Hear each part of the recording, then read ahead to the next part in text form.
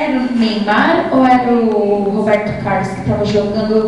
E aí um torcedor jogou uma. Roberto Carlos, um, um torcedor jogou uma banana no campo, onde ele estava jogando. O que, que ele quis dizer quando ele jogou essa banana?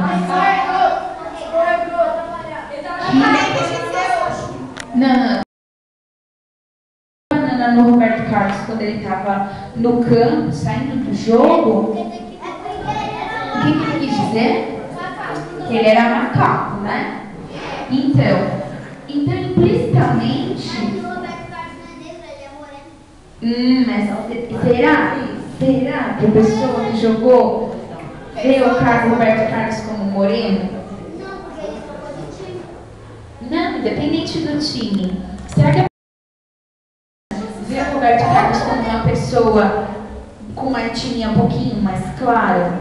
Eu acredito que não. Acredito que foi mesmo para discriminá-lo. Então isso foi uma ação que de discriminação, mas pela cor. Quando tem uma discriminação baseada na cor, isso se chama racismo. É isso que é racismo. Quando você